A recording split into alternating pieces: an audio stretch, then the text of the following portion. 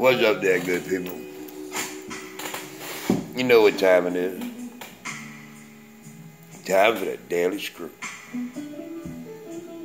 Long night, man. Long night. Had some newbies come in last minute. 3.30, 4 o'clock. And I was sitting there all night, you know, with the other guys. Of course, I'm I'm the oldest guy in the bunch, of course. I'm the old man. And what brought it up is we was talking about what was the real meaning or what was the first meaning of Friday the 13th besides the movie. You know, me, I'm one of them, you know, uh, ones that love all that useless information. So, of course, I'm Google is your friend. So I started Googling it, you know what I'm saying? It, it struck me as, man, fucking like a dozen pages was nothing about the movie, the movie, Friday the 13th, Friday the 13th. And I'm thinking to myself, man, don't y'all know anything past Friday the 13th? You know? I wonder where, you know, where it come from. And you go to Google and start searching, man, it goes way back to the birth of Christ. You know what I'm saying? The the um, the Last Supper. You know I'm saying? And Christ was, was crucified on Friday the 13th. They had some weird stuff in there, man. Um, but it goes to show you, uh, well, it goes to show me, um, I was enlightened tonight. I'm old. Because we started talking about things and back then and back there, and I was like, oh my fucking God. And I swear to God, I went from 20 to 50 in a blink of an eye. It, it happened just like that. I don't feel any uh, worse or less. You know, uh, um, I still feel like I'm 20 until I get up to go move or something like that, and you know, oh Lord, oh my Lord. Time it goes on. It don't wait for nobody, man. Really don't.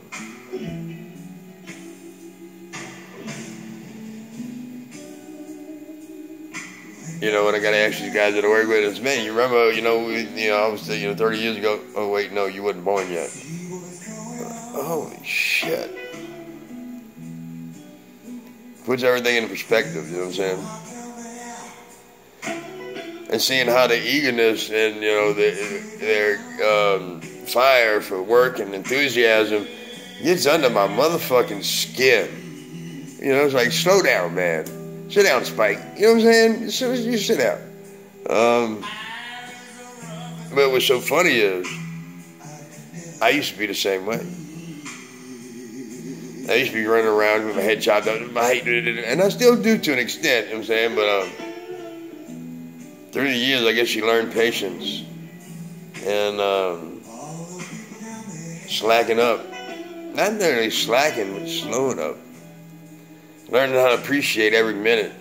You still live, at least I do. I still live every minute, you know, to the fullest, you know. But um, I think maybe I enjoy it a little bit more, or I've slowed down to enjoy it a little more, which I've enjoyed all my past. Don't get me wrong, um, but I didn't stop to appreciate it.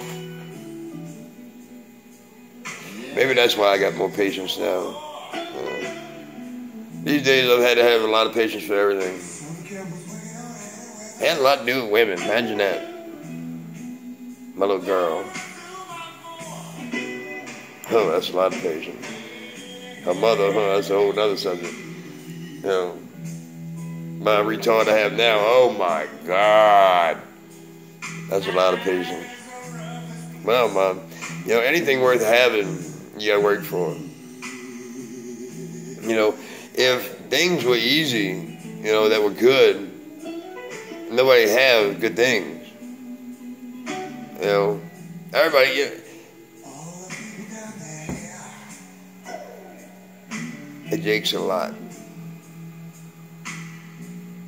You know. You think the guys who sent, you know, the astronauts to the moon, you think they did that all by slacking? Uh, yeah, throw that part in there. Yeah, no, that might get it. No. It'll work the ass. Any relationship. Parents and kids. Men and women. Dogs and cats. Doesn't matter. Whatever kind of relationship takes work. If you build a bridge across these waters and you don't work your ass off for that bridge, make it strong, well, that motherfucker's gonna fall apart and everybody's gonna go in the water. You gotta build that bridge strong as a motherfucker. Work your ass off, man. That way that bridge is there, it's connected. It ain't going nowhere. It'll ride for thousands of years. Just saying. Anything worth having, or anything that you have that's you want to keep, you had to work for. I know everybody out there has. So for the ones that are trying to get things, or trying to get somewhere, relationship, money, work, children, no matter, be patient. Work your ass off. The more and better you work, the more and better things that you're going to get. And not just that, but the, your quality of life. You know what I'm saying? That's what means it all. Your, your mind, your, your well being. With me, I can be in a cardboard box and still be happy. That's just worth more than anything, your well being. Because if you don't have, if you're not right, you know what I'm saying? You're not going to be able to be right for anybody else. Worry about your well being. Then you can take care of everybody else. You know what I'm saying? So, how's your well being this morning? My well being is going to be out the door heading to the hacienda. I'm going to holler at y'all good people. Manana. Love y'all people.